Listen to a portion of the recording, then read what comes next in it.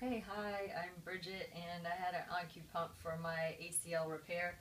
Um, it's been about 72 hours and as you can see my pump is empty. Um, so I'm going to remove the catheter.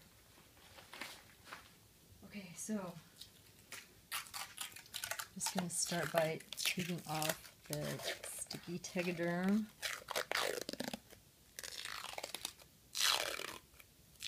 As you can see, with the tegaderm coming off, my catheter has already started peeling off.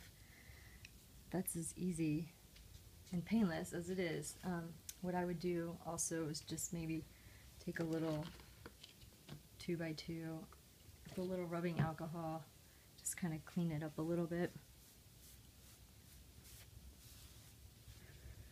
And put a little band-aid over that incision or that little pin prick